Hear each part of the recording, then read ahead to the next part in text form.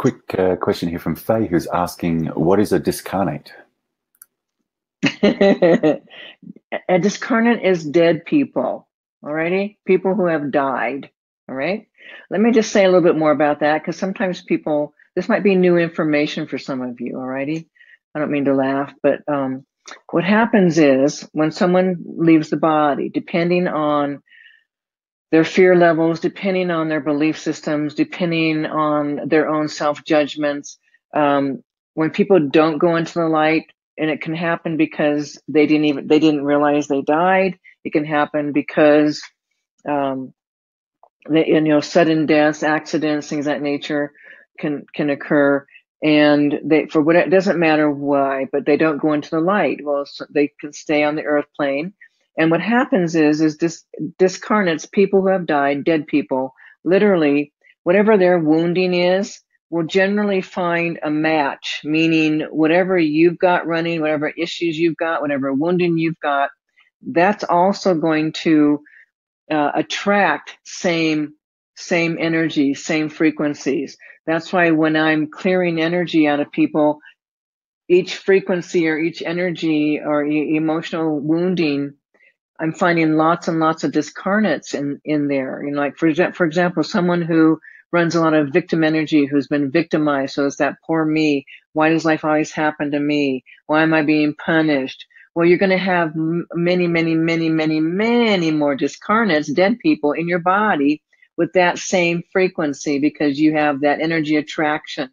Okay. And then sometimes too, you'll have discarnates in your body that know you and that have been following you from different lifetimes. All right. So you can have experiences of loved ones, or you can have enemies, or anything in between. And sometimes people, you know, stay and follow and stay in your energy field. Your body dies, they they don't go into the light. You reincarnate, they come back into your body. This happens all the time. Okay, so you've got people that enter you because they know you. Then you have people that come in because they want to hurt you, they want to cause you harm. They want retribution. They want revenge. They want you to suffer.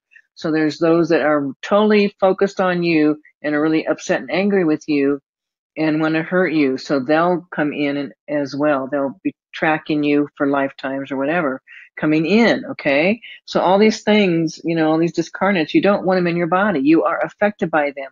They come into you like any time under in hospitals, under anesthesia, in the bars, drinking, you know, going unconscious, uh, uh, alcohol, drugs, you know, times where you get knocked out or whatever. You're in an altered state. But these beings come in, they anchor in, you know, they want to live. So sometimes they affect you, sometimes they, they just kind of hide out. But you are affected when people take on, you know, people, I can't tell you, it's like going into a hospital, and you pick up on these discarnates, and then pretty soon you start having you know, coughing or you start having pain in your knee or you start having back pain. It's like, where'd that come from? Okay. It's from the discarnates. Okay. Get them out.